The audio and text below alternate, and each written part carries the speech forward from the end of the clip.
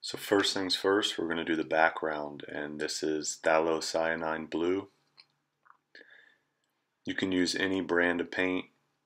Really, if you know what you're doing, you can get the same effect with any brand. So even these, these cheaper basics will work fine. You don't have to have the goldens or anything like that. It might be a little creamier and easier, but this will be fine if you are, you know, on a budget or just starting out. This is titanium white and the phthalocyanine blue and titanium white, just these two colors together are going to give us a nice bright blue background that we can lay our clouds on. So that's all we're going to need for this part of the painting. This is a slow dry blending aid by Liquitex. You can use this slow dry blending medium or a flow aid along with water. And these in combination when mixing your colors will retard that drying process and will allow you to blend much easier, which will help with the background and then also on the edges of the clouds to soften them up. Having a drying retardant really helps. So to start out, we're just going to get a little water on our blending brush, add a little bit of the retardant, and you just have to get a feel for this. If you add too much retardant and it's super thin and watery, then drag more paint in. If it's too thick and creamy, then add more retardant. So just get a feel for it. And then mix your blue and your white to get a nice bright blue like this. Just a nice sky blue. If you want to buy a pre-mix, that's fine, but I prefer to blend my own colors so I can get it exactly how I want it. And I think as you get more experience, you'll prefer that also. And then we're just going to lay the color on. Don't worry about brush strokes. Uh, we're just trying to cover the entire canvas right now.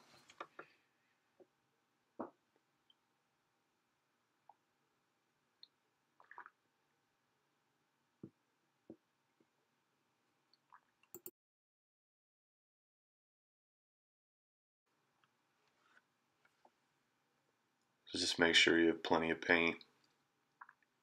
We want it to be somewhat thick and wet during this entire process. Because it's important to get a nice, good background that looks soft and uniform. So near the bottom, add more white. Brighten up that blue, add more white. And that's going to give us a more natural effect because usually near the horizon or lower towards the earth, it's a bit brighter and then it deepens in blue as it gets above the horizon. So if you want to add a little more white at the bottom, it will make for a more natural background.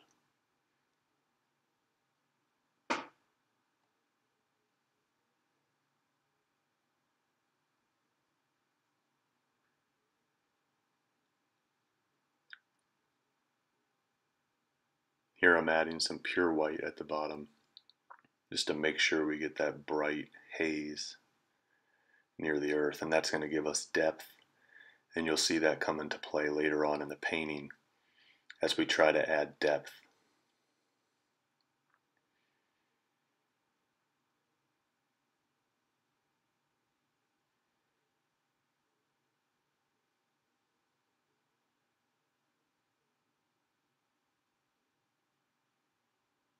I'm just working it in, getting it even, getting it the way I want it. So just do the same here and try to get that white haze at the bottom.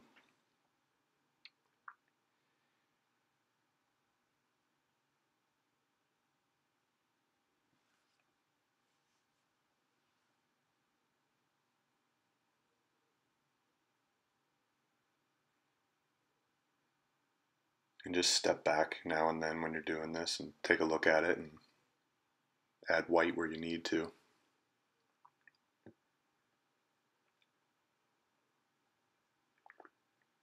Okay, now this is a two inch dry square brush. The bristles have to be dry, so no water, no flow aid. and just lightly brush the entire painting once you have the paint applied the way that you want it to be applied. I have a tutorial video showing exactly how to do this on blending backgrounds, so you can take a peek at that if you want. But the, all I'm doing is just back and forth, figure eights, and back and forth, really soft with a dry, square brush like this. And what this does is softens that background gets rid of the brush strokes and makes everything look uniform and natural.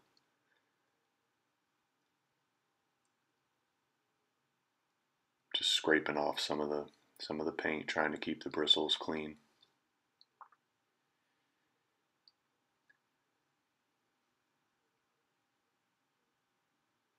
And now I'm just switching it out for a 3 inch, same thing, dry bristles, and we're just going to go over that lightly again.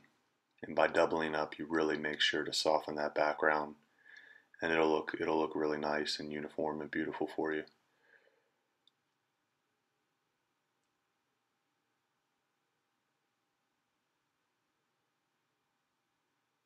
So now at this point the background is where we want it. So now I'm going to get a little bit of Mars Black. This is a different brand, Winsor and Newton. And like I said, it doesn't really matter if you know what you're doing. And I'm just going to add a little dab of black just to get a light gray.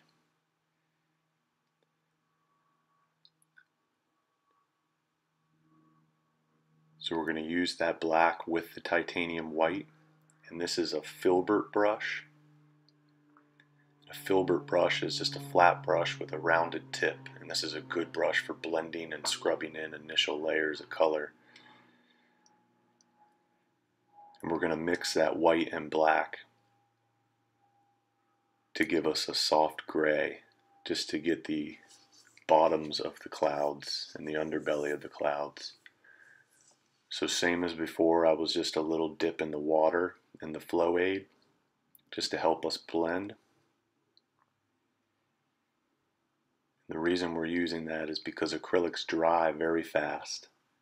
So that's why people use oil paints. It's because it stays wet for a long time and it's easier to blend. So this allows us to get that bright pop of acrylic paint, but also get the blending benefits of oils. So I'm just getting a, a light gray. You don't want it too dark at least not in this particular painting with a clear blue sky. It's going to be bright white clouds with a, just a soft gray on the bottom.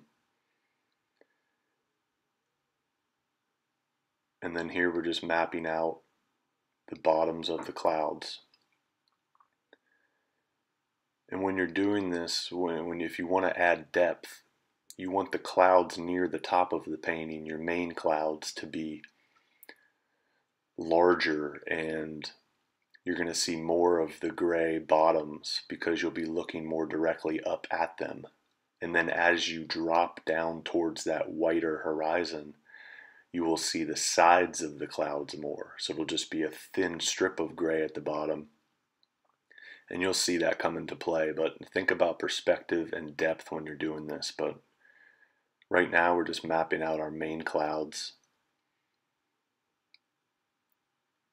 and adding this gray will set in the bottom and the main bulk of those clouds. And then we'll add white around the edges to brighten them up.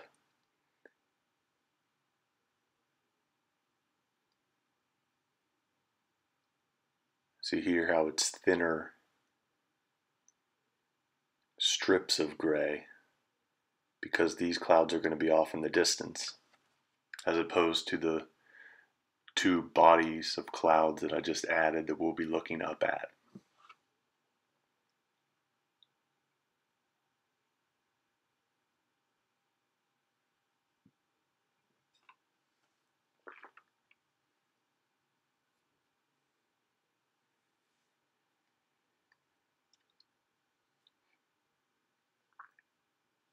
So I'm just rinsing it now. That's just water, getting all the gray out.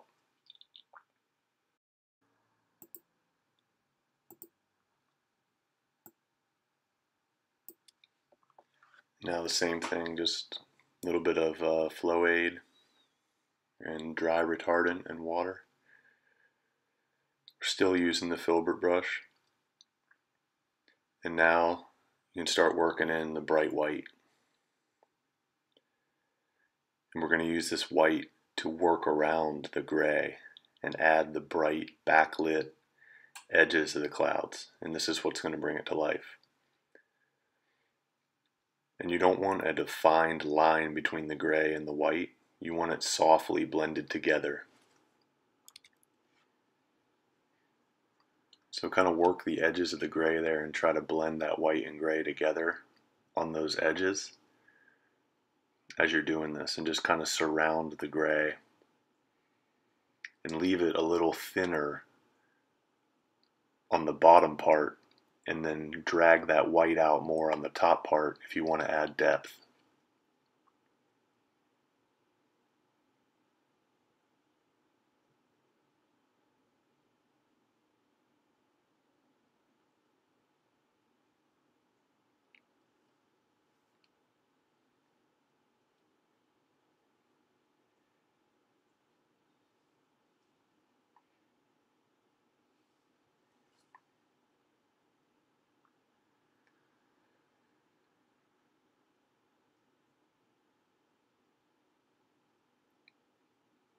Here you can kind of pull that white out, make it look kind of wispy and blown in the wind a bit. And just try to make all your edges soft. And by soft, I mean well blended. You don't want harsh, defined edges when you're when you're painting clouds. That will give it a cartoony, unnatural look.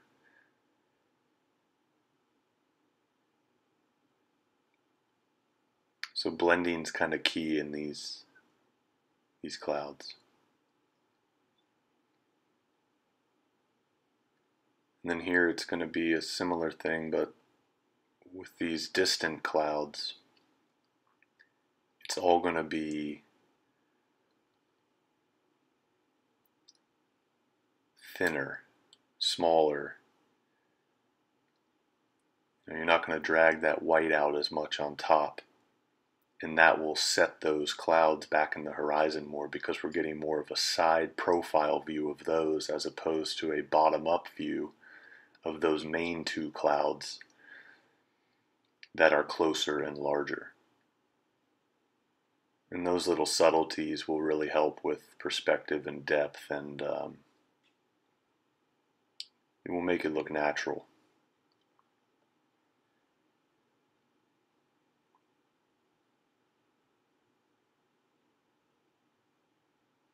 And doing this initial layer, just think of blending and mapping. You're kind of mapping out the shapes of the clouds and just try to soften and blend everything in well. And then as you add another layer or two, you can brighten up certain spots and make some changes and things like that. But just really try to blend these out well and map it out well to where it makes sense dimensionally. But it doesn't have to look perfect on this first layer. This is all just kind of concept and getting things laid out.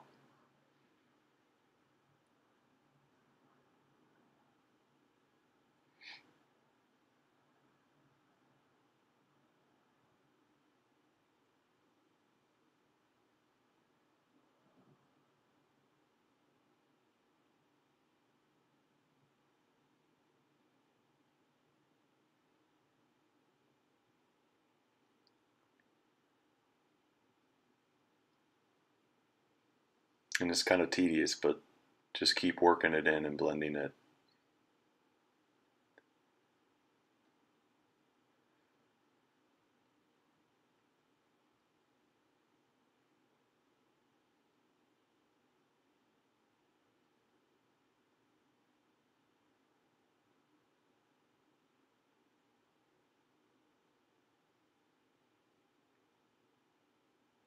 Just adding more white and we're going to drag out the tops of these main closer clouds that we're looking up at. And by adding this size and brightness and dimension, we're going to set ourselves underneath those and we'll set those smaller, more profiled side view clouds back in the distance and give us that depth that we want. So just same thing, mapping and blending and dragging out those tops and try to make it, you know, kind of wispy and um, just thin and light here on the tops. The base of those clouds will be thick and the tops will kind of be lit up and blended and wispy. And that'll make it look natural as we add some more color. So now this is the scrub blender brush. It's a smaller blender and it's kind of stiffer bristles. It's just a scrub brush, but same thing. Get some get some uh, retardant and some uh, blending aid and a little bit of water just find that little balance, which you will. And just get everything blended out, all those edges. We don't want any defined edges. Everything's got to be soft. So it's a little tedious, but it's it's worth it. And just soften all those edges up.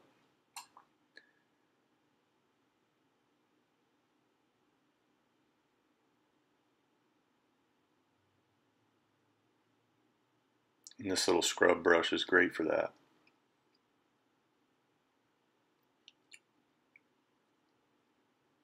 And I'll put links to all these different brushes and paint colors and the canvas panel, everything in the description.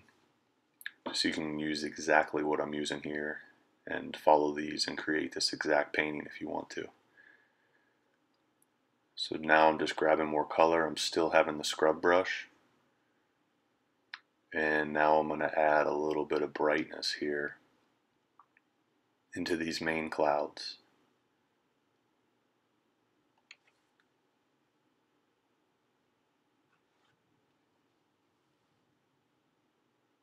While everything's wet. And then once we get it mapped out, blended well, and our initial layers in, then we'll let that layer dry and we'll, we'll add another layer. And I'll show that in the second video.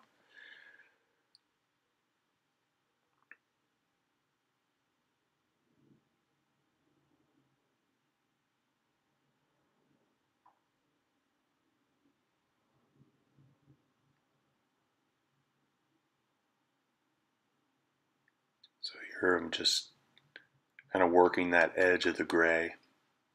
Same thing, so just kind of going around that gray base that we set in, blending in those edges and just adding some more color and brightness and white. And try not to leave any hard edges.